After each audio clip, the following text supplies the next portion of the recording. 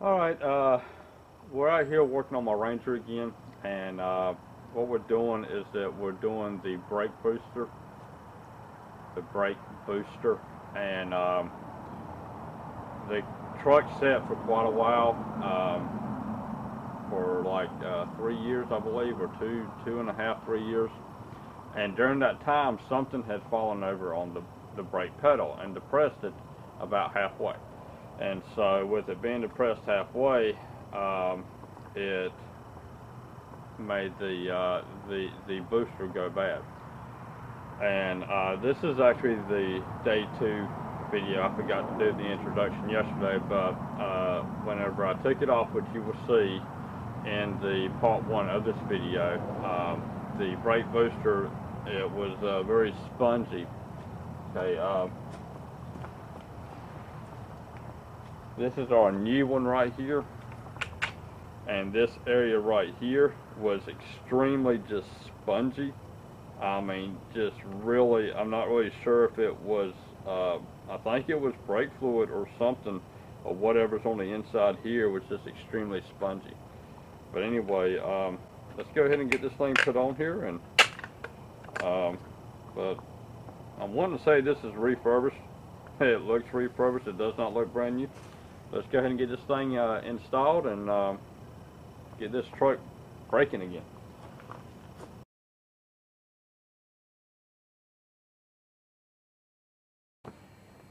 Okay, for uh, this uh, year model, it's a uh, 15 millimeter or a 1932. And so uh, over here,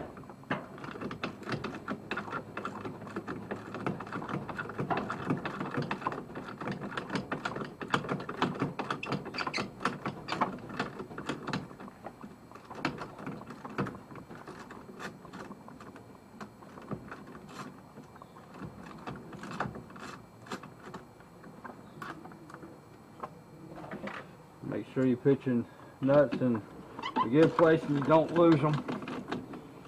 You don't want them to fall on the ground either.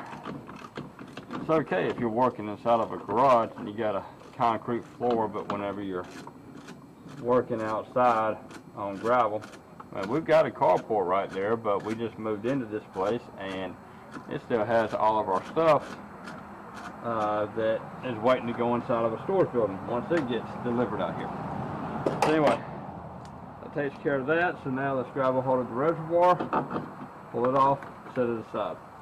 This line right here, I've already disconnected it. It was a pain in the butt to get off, so just pull it off, set it over on the side. So that's basically everything that needs to be done on the outside. So we'll do the rest of it on the inside. So that's where we're going to be going next. Okay, this right here is the um, our brake pedal, the inside of our brake booster, which is that big black piece right there. So we've got two nuts that we've got to remove, and we got to remove that right there, which is for our brake light sensor, which I think could be bad. I'm not really sure. Um, I keep on blowing fuses, but that's not for the brake. Uh, that's actually for my flashers and lights. So, but anyway, that's what we're going to be removing. Uh, I'm going to try to set up the camera so that uh, y'all can follow along. Um, it's going to be really hard to do that, but I'm going to try my best to set it up. So, anyway, um, yeah, as soon as I start back up, we will be disconnecting this. Okay, um, excuse me. Um, got the camera set up on the tripod head inside the truck. Um, I'm gonna try not to talk too loud because this microphone on this thing really sucks. So we're gonna go ahead and get this thing done.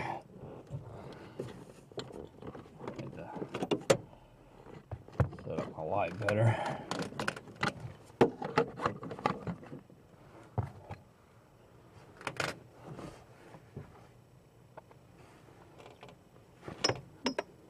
This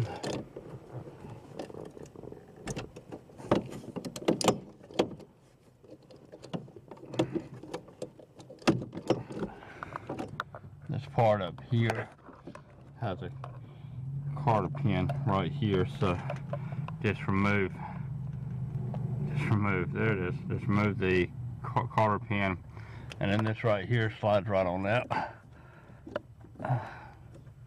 So, yeah.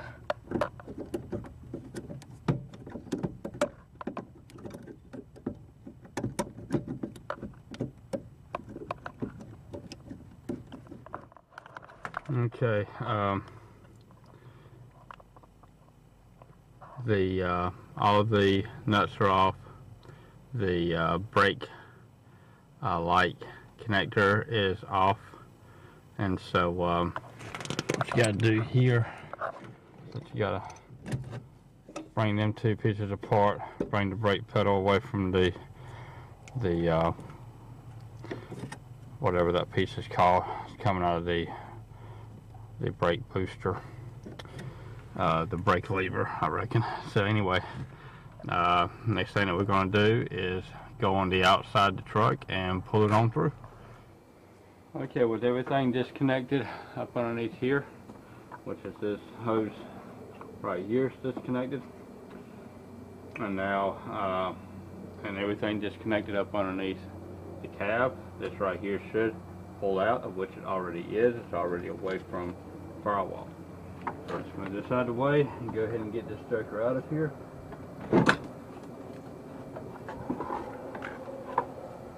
And uh, yeah, there it is. So uh, this part is uh, definitely bad. It's, I mean, it's just in really bad, bad shape. I mean, look at that thing. It's just all rusted and just, yeah. Drive this thing down the road, you're just asking for an accident.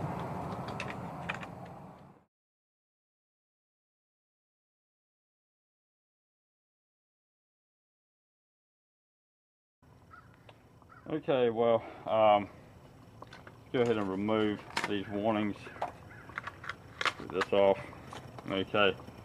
Uh, this right here goes on the would be the passenger side of your truck. So this right here would go to passenger side, and this hole right here is where we're going to go inside of. And so while there's our four bolts, let's go ahead and slide it on in yonder.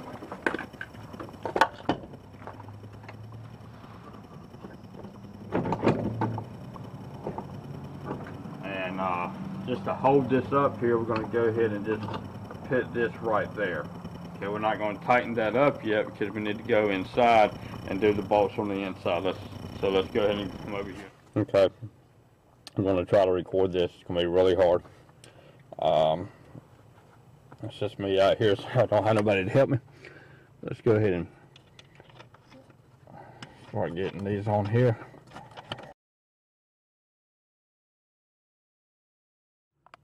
Okay, uh, what I need to do now is that I've got to hook this bar right here onto here. So uh, I'm gonna go ahead and do that before I lose my washer. And uh, I'm not really sure if I'm gonna be able to keep this camera on or not. But I'm gonna bring this back here. Oh, it. Okay.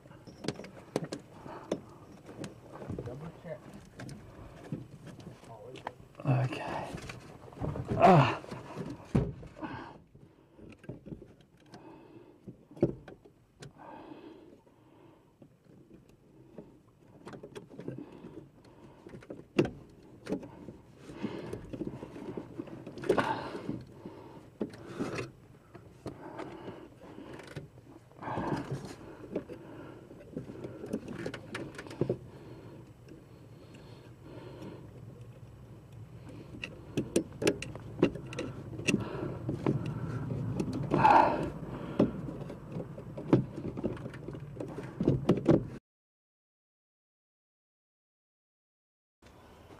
Okay, we've got it attached on the inside, so now the only thing we got to do is, since we've already got this sitting right here, is go ahead and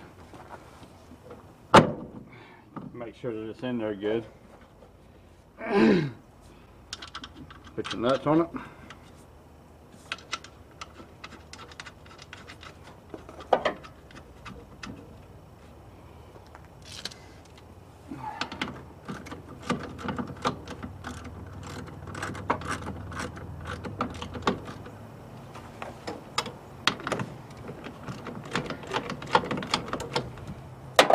Okay, excuse me. Take this right here. Slide that out. Put it on there. And just put on it about right up in there. Be good. Should have plenty of brake fluid. And uh, it's nice and clean. Uh, so whenever I first looked inside of this after a couple of years, it was all gunked up at the bottom. You couldn't even see the bottom. So I drained out all of the fluid and then I cleaned it out really, really good. And then um, I uh, drained the uh, the brake lines as good as I can get them to be drained. And so, uh, so yeah, that's basically all that needs to be done. Um, now you may need to um, bleed your brakes and if I gotta bleed my brakes then uh, I'll do a video on that as well. But uh, alright that's to take care of this part. So thanks for watching and um, hope that you learned something and are able to do the same thing with your vehicle. Okay well y'all have a good one. Thanks and keep on watching and subscribing. Bye bye